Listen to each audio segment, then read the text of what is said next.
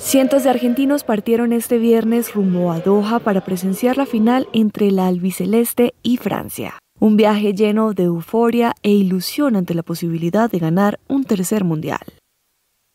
Con camisetas, chaquetas, gorras y bufandas albicelestes, los pasajeros del vuelo AR 1148 de Aerolíneas Argentinas no podían ocultar su emoción dentro del avión, conscientes de que vivirán un día histórico el próximo domingo. Muchachos, ahora nos volvimos a ilusionar. Volvió a ser el cántico más repetido por los hinchas. ¡Muchachos! Ahora lo volvimos a ilusionar. Aerolíneas Argentinas también programó un segundo vuelo para este viernes, el AR 1914, que tiene prevista su salida de Ezeiza a las 20 horas y llegará a Doha a las 20.10 del sábado.